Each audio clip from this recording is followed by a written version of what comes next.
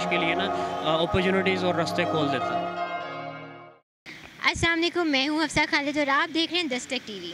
नाजिन हमारे मुआरे में बहुत से ऐसे लोग हैं जो ज़िंदगी में कुछ बनना चाहते हैं, कुछ करना चाहते हैं, पर उनके हालात कुछ ऐसे हो जाते हैं कि वो हार मान जाते हैं। आज मैं मौजूद हूँ एक मोटिवेशनल स्टोरी के साथ लाला जी दही भल्ले पे, जिनके ओनर हैं एहतशाम आज हम एहतशाम से जानेंगे कि उन्हें अपनी ज़िंदगी में ऐसे कौन से मामला पेश आए जिसकी वजह से उन्होंने सोचा कि उनको अपना छोटा सा कारोबार शुरू करना चाहिए। एहतशाम सबसे पहले तो बहुत शुक्रिया आपका कि आपने हमारे लिए अपना वक्त निकाला। एहतशाम मुझे बताइए कि ये लाला जी दही भल्ले आपको ये काम करते हुए कितना टाइम हो चुका है? वालेकुम अस्सलाम। हमें ये काम करते हुए छठा साल है। छः साल हो चुके हैं हमें ये काम करते हुए। आपने क्या सोचा कि आपको ये दही भले का काम शुरू करना चाहिए और ऐसी क्या वजह पेश आई? उसकी सबसे बड़ी वजह तो ये थी कि क्योंकि हमारी एक बड़ी फैमिली है तो मेरे फादर ने कुछ बिज़नेस किए थे।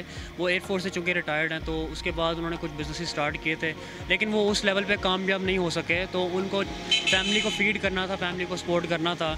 तो जब हमने होश संभाला, मैं उस वक्त नाइन्थ क्लास में था तो मेरे और, मैंने और मेरे बड़े भाई ने हमने ये फ़ैसला किया था कि अपने अबू को जो है वो सपोर्ट करने के लिए हम भी साथ उनका हाथ बटाएँगे।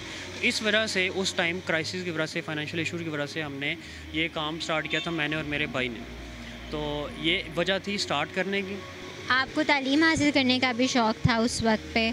तो उस टाइम पे तो आपकी तालीम को साथ जारी रखना बहुत मुश्किल होगा। तो क्या इस काम करने से कोई आपको मदद मिली है? बिल्कुल एक, ये बिल्कुल मुश्किल था, एक साथ पढ़ाई चलाना और साथ अपना शाम के अंदर काम करना।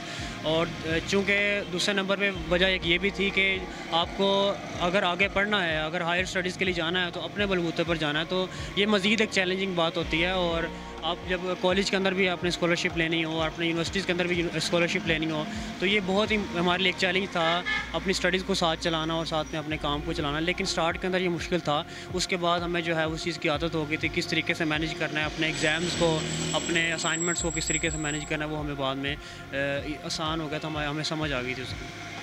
अब आपके माली हालात तो कुछ बेहतर हो चुके हैं तो फिर अभी भी आप अपने इस कारोबार को लेकर क्यों चल रहे हैं? उसकी उसकी वजह ये है क्योंकि हम इस कारोबार को क्यों साल लेकर चल रहे हैं? स्टार्ट में जब ये जब ये बिज़नेस स्टार्ट किया था तो उस वक्त एक्सीडेंटली स्टार्ट किया था चॉइस के साथ स्टार्ट नहीं किया था। जैसे मैंने आपको बताया। लेकिन अभी इसको हम इसलिए कंटिन्यू कर रहे हैं क्योंकि पाँच साल का अरसा हो गया मैं ये काम करते हुए तो अब इसके अंदर मेरा ज़ाती तौर पर एक इंटरेस्ट डेवलप हो गया बिज़नेस के अंदर। जब आप पाँच साल किसी चीज़ के अंदर काम करते हैं तो आप उसके अंदर जो है ना वो सोचते हैं कि मुझे इससे ज़्यादा रिटर्न आना चाहिए। आपने एक टाइम इन्वेस्ट किया, अपनी लाइफ का एक टाइम इन्वेस्ट किया तो इस वजह से मैं इसको इतनी आसानी से नहीं छोड़ूँगा, इसलिए मैं इसको भी लेके चल रहा हूँ। और मज़ीद भी मेरी सोच है कि इसको आगे मज़ीद भी तरक्की दी जाए और इसके अंदर मैं मज़ीद काम करूँ। अब आप जैसे अपनी पढ़ाई भी आपकी जा रही है वैसे आप पढ़ क्या रहे हैं अभी? मैं यू लाहौर से इंडस्ट्रियल एंड मैन्युफैक्चरिंग इंजीनियरिंग कर रहा हूँ। तो आगे मज़ीद अपनी पढ़ाई कंप्लीट करने के बाद आपने किसी जॉब का सोचा है या आपने यही सोचा है कि अपने इसी कारोबार को आगे लेकर चलना है? फ़िलहाल तो जॉब का नहीं सोचा सोचा बिल्कुल भी क्योंकि आपको पता जैसे कि सोसाइटी का ट्रेंड है कि ग्रेजुएशन करना और अपनी पढ़ाई को मुकम्मल करना तो एक ग्रेजुएटेड जो बंदा होता है वो प्रोफेशनल माना जाता है। तो वैसे ज़ाती तौर पर मेरी तो यही है कि मैं अपनी ग्रेजुएशन कंप्लीट करूँ और जो मेरा माइंड सेट है वो मैं ये चाहता हूँ कि मैं बिज़नेस ही करूँ आइंदा भी।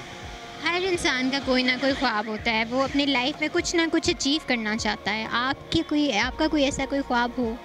बिल्कुल मैं जो है मेरी ज़िंदगी का ख्वाब है कि मैं एक बिज़नेसमैन बनूँ। पहले नहीं था ये पाँच साल जब मैंने बिज़नेस स्टार्ट किया उसके बाद ही मेरा ये ख्वाब था। पहले तो हमें कुछ पता नहीं होता लेकिन अभी मेरा यही है ज़िंदगी के अंदर कि मैं एक सक्सेसफुल बंदा माना जाऊँ और अपनी फैमिली के अंदर जो है ना मैं डिफरेंस क्रिएट करूँ। लोग जो है वो आ, मेरी मिसाल देकर दूसरों को बताया करें कि आप देखें कि उसने एजुकेशन भी अपनी कंप्लीट की और अपने बिज़नेस के अंदर भी उसने एक एक्सेल किया और कामयाबी हासिल की है। तो मैं ज़ाती तौर पर चाहता हूँ कि मैं एक मिसाल बनूँ। बहुत सारे हमारे माशरे में ऐसे लोग हैं जिनको माली मुश्किल का सामना करना पड़ता है और वो हार मान जाते हैं या लोगों के सामने भीख मांगना शुरू कर देते हैं। आप उन लोगों के लिए एक मोटिवेशन है। क्या मैसेज देना चाहेंगे उन्हें? उन लोगों को मैसेज मैं पहले तो ये देना चाहूँगा कि बजाय इसके कि आप कुछ सोचते रहें, आपको कहीं हर बंदे ने कहीं ना कहीं से स्टार्ट करना होता है। जितने लोग कामयाब हैं, उन्होंने कहीं ना कहीं से स्टार्ट किया था। सबसे पहले उनको मैसेज ये है कि वो कहीं ना कहीं से, वो एक छोटे सेटअप से वो अपना एक स्टार्ट लें। ठीक है? उसके बाद ये है कि अल्लाह ताला जो है मेहनत कश के लिए ना अपॉर्चुनिटीज़ और रास्ते खोल देता है। और दूसरे नंबर पे बात ये है कि ये जो बिज़नेस है, वो कोई भी प्रोफेशन है, उसके अंदर आपको कमिटमेंट चाहिए होती है पाँच साल की, दस साल की। हमारा मसला ये होता है, हम सोचते हैं कि एक साल काम किया, बल्कि एक माह काम किया तो उसके बाद हमें जो है ना, वो बहुत बड़ी कामयाबी मिल जाए। लेकिन ऐसा नहीं होता, आपको कमिटमेंट चाहिए होती है पाँच साल से दस साल तक।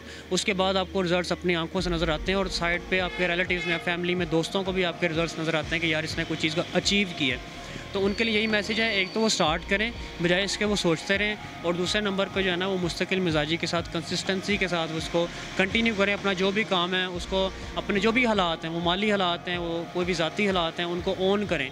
हर बंदा सोने का चम्मच मुँह में लेके नहीं पैदा होता। तो जिस तरह के भी, जिसके भी हालात हैं, वो उसको ऑन करें और फैसला करें और ज़िंदगी के अंदर जो है ना अपना एक सफ़र स्टार्ट करें। अच्छा आपके इस फ़ूड स्टॉल का नाम है लाला जी। तो ये लाला जी आपने क्या नाम सोच के रखा? लाला जी नाम ये सोच के रखा था क्योंकि हमारी पहली जो शॉप थी वो फतेहगढ़ में थी। वहाँ पे कुछ कस्टमर्स थे, वो हमें, मेरे वाले साहब वहाँ पे जो है वो उस टाइम काम करते थे, हम साथ काम करते थे। तो वो उनको लाला जी क्या करना, मुखातिब करते थे। तो हमें ये नाम एक अच्छा लगा और हमने जो है ना, वो नाम भी मतलब इसकी परसेप्शन भी जाती है कि चार्ट्स का बिज़नेस होगा और उसके अंदर ये चीज़ बिक्री होगी। तो इस वजह से हमने ये डिसाइड किया था कि लाला जी जो है, और उसके बाद जो है, अब तो ये वर्ड ऑफ़ माउथ बन गया है। हर बंदे के मतलब ज़ाती तौर पर भी हमें पता नहीं रहता कि लाला जी हम बोल रहे हैं। तो word of word of mouth बन चुका अभी एक। इसके अलावा भी आपकी और कोई ब्रांचेस हैं? बिल्कुल, हमने कोविड से पहले हमारे चार स्टॉल्स थे। कोविड की वजह से फिर हमें दो, हमने दो बंद किए थे, कुछ और भी इशूज़ थे।